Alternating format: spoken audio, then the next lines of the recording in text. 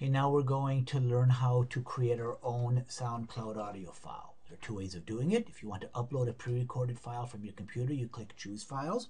If you want to record it directly into your computer now using your microphone, you click on Record. it's going to ask you if you allow Adobe to access your camera and microphone. You click Allow. And then when you're ready to record, you click here. Let's pretend that I'm a student reading Hamotzi from page 29 in the Kol Yisrael 1 textbook.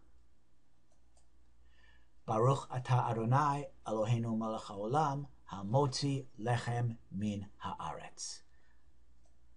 I click the stop button, and if I want to hear it over again, I click on the play button. If I don't like what I heard, I click start over and I can re-record.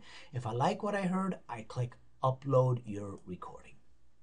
And as the recording is being uploaded, I can give it a title, Ha Motzi. I can upload an image if I wish. I can uh, give it a description.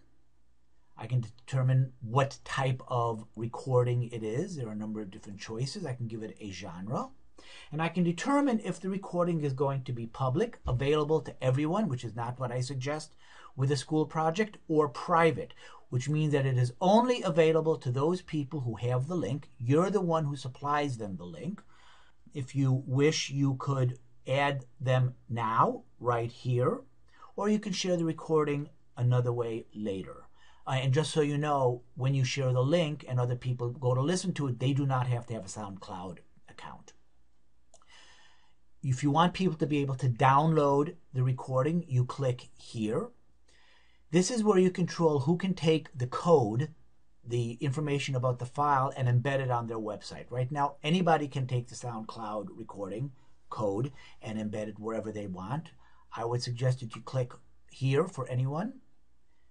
Click here that only you, the person who created the recording, can embed the um, code wherever you wish. In our case, it'll be the Online Learning Center. You click Save. Apps are programs that allow for people to stream your recording via third party application through the SoundCloud API. It's a little technical.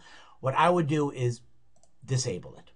Once you've gotten all this information, you click Save, and the recording appears here. In our next video, we're going to learn what to do with this recording.